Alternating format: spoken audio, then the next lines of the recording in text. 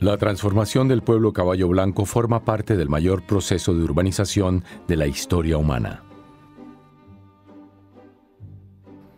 Su historia es la historia de la China moderna,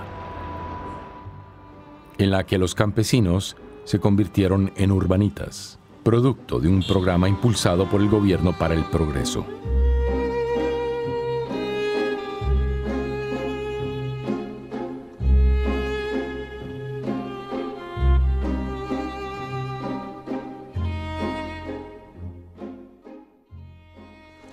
Cuando la BBC empezó a filmar aquí hace 10 años, China era un país a dos velocidades, con ciudades costeras adineradas y esto, un interior de agricultura de subsistencia.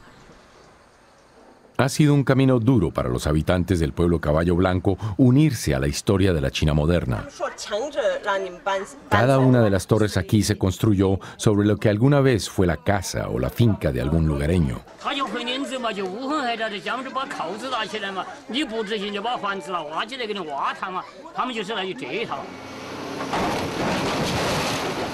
Pero a los habitantes no se les permitió cruzarse en el camino del progreso. Caballo Blanco ahora es solo un recuerdo, igual que otras miles de comunidades rurales en toda China. Una nueva escuela para una generación urbana. Consumidores que el gobierno espera alimenten el crecimiento económico de China. Pero no todos son ganadores en la nueva ciudad. Estos ciudadanos sienten que no tienen voz. Sus destinos están prescritos por un gobierno que no escucha.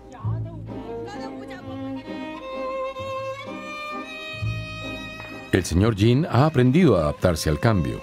Ha tenido que mover la tumba de su familia dos veces para abrir espacio a las ampliaciones de la ciudad. Le gusta lo que ve.